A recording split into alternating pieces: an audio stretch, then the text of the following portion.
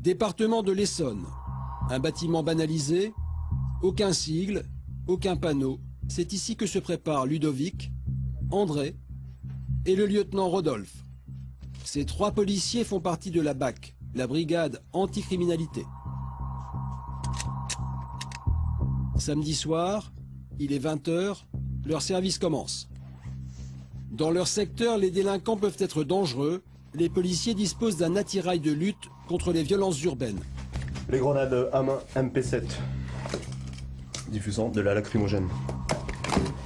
Des cartouches pour le flashball, arme non létale, emprisonné deux cartouches. Grenades lacrymogènes, flashball à visée laser. L'Essonne est un département connu pour la violence de certaines cités. Il y a des, attaques, euh, vraiment très, attaques éclairs qui durent. euh, l'affrontement va durer euh, 10 minutes grand maximum.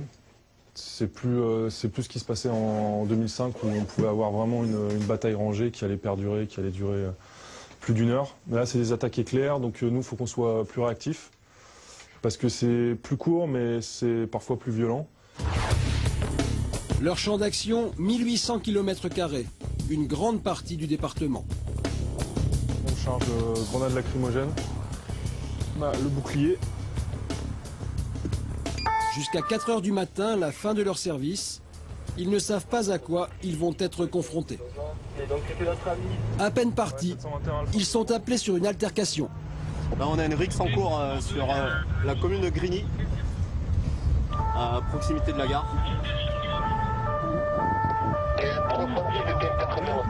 Deux blessés pour l'instant sur place, selon les effectifs locaux. T'as déjà des collègues sur place? Ouais, des collègues sur place et deux blessés par. euh, on sait. Enfin, ils sont au sol, ensemble. Grigny. Deux familles seraient en train de régler leur compte en pleine rue. L'incident a lieu au milieu des immeubles HLM, un terrain sensible pour les policiers. Rodolphe descend le premier, bombe lacrymogène à la main. Une quarantaine de personnes sont déjà dans la rue. Les CRS sont arrivés en renfort. Les riverains sont encore sous le coup de l'énervement. La BAC tente d'apaiser les esprits. Ah, mais le problème c'est qu'ils sont dehors, nous on peut pas, on va pas tous les, ra- les ramener hein, au commissariat, on va pas les forcer à rentrer chez eux hein, s'ils veulent rester dehors. Mais il faut, il faut rester une équipe ici. Les victimes de la RIX sont déjà à l'hôpital. La situation est calme. Mais la radio appelle les hommes de la BAC sur une nouvelle intervention. Il est où euh, Ludo?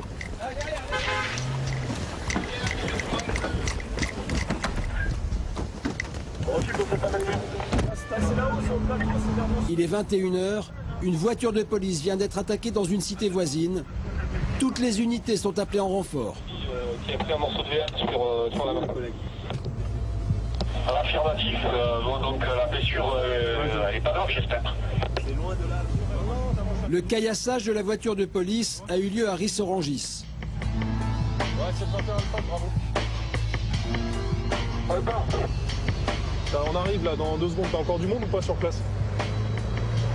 Euh, négatif, euh, faites attention, ça tombe des, des immeubles là. Euh, Qu'est-ce que vous êtes jeune Très jeune.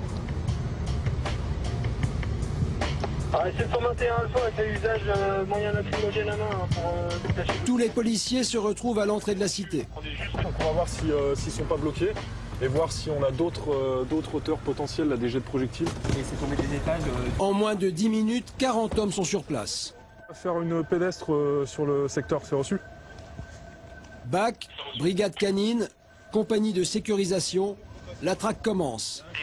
Les policiers cherchent les jeunes qui ont attaqué la voiture de police. Dès qu'on est en pédestre au milieu, c'est casque, euh, armement collectif, et puis euh, surtout dès qu'il y a des tours, euh, on fait attention, ça tombe, ça tombe souvent de- des étages. Donc euh, dans le doute, euh, vaut, mieux, euh, vaut mieux prévenir. Au sol, les traces d'une bouteille lancée quelques instants plus tôt.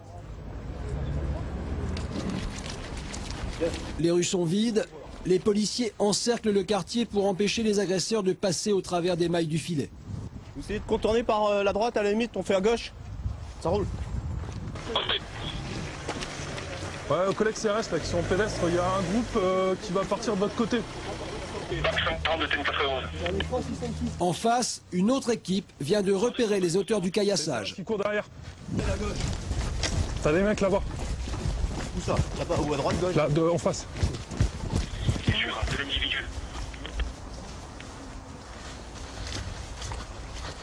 C'est- C'est la CS qui est parti là-bas. Je pense qu'ils se sont regroupés ailleurs.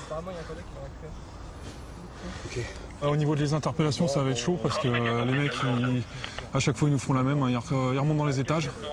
Une fois qu'ils ont cassé, ils remontent dans les étages. Ils s'enferment dans leur, euh, dans leur maison ou dans celle des copains et puis c'est fini. Donc là, c'est au cas, au cas où. hein, euh, on fait quand même la sécurisation, mais comme vous l'avez vu, il n'y a, il y a plus personne. Mais cette fois, les agresseurs n'ont pas eu le temps de se replier dans un immeuble. Ils ont été interpellés avant. Par une autre équipe de policiers. Oui, c'est parfaitement reçu. On a l'auteur des faits. Ouais, on quitte On continue à faire la ligne. Ouais,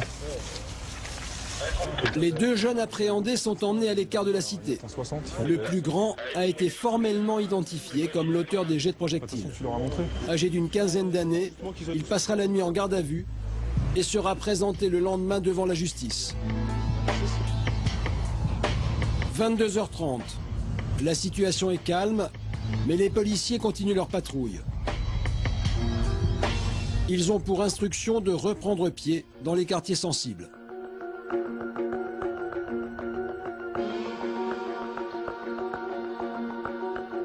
Il faut pas non plus qu'on baisse les bras systématiquement par rapport à, cette petite menace. Ne cherche pas une provoque quelconque, on, on assure juste notre mission, notre passage. Parce que, comme je vous l'ai dit, il n'y a, pas- a de zone de non-droit non plus. On, on fait uniquement un passage euh, préventif, on va dire. 2 heures du matin sur la route nationale, l'équipe repère deux voitures de location. Des vols ont été signalés chez les loueurs de la région.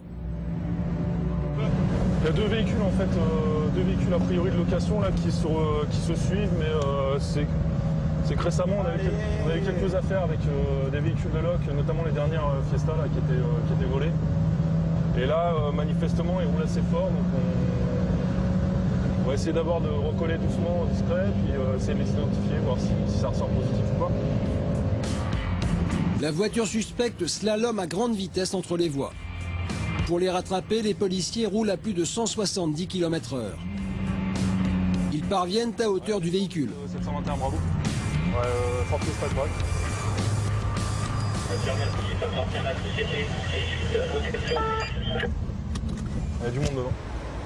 Le contrôle s'effectue à 100 mètres d'une zone sensible, le quartier des Tarterets. À l'intérieur de la voiture, quatre jeunes âgés d'une vingtaine d'années. Les individus sont contrôlés. Résultat de la perquisition, une centaine d'euros en liquide, des gants de défense, des cigarettes, du papier à rouler. Et Rodolphe trouve aussi une barrette de cannabis. Eh messieurs, on vous l'avait pourtant demandé Le stup C'est à qui? C'est à personne? C'est pas à vous? C'est vous qui étiez assis là? Ah, c'est pas à vous? Rodolphe continue les recherches. Dans la voiture, sous le siège du conducteur, encore quatre barrettes de résine de cannabis. La résine du cannabis. Qu'est-ce qui est responsable de la voiture hein Euh, Je sais pas, c'est un moi, il a fait une location. C'est sa location. D'accord.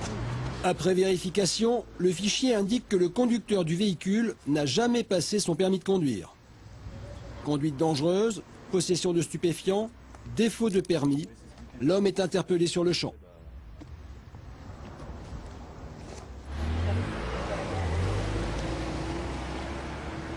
Bah vraisemblablement il va être euh, placé en garde à vue parce qu'on interpelle là pour les deux motifs de euh, donc euh, défaut de permis de conduire et détention de produits stupéfiants, en l'occurrence du cannabis.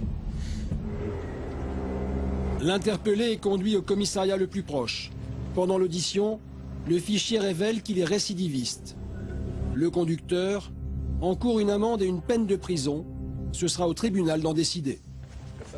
4 heures du matin, la nuit se termine pour la BAC 91. L'an dernier, le taux de criminalité dans le département a baissé de 3,3%.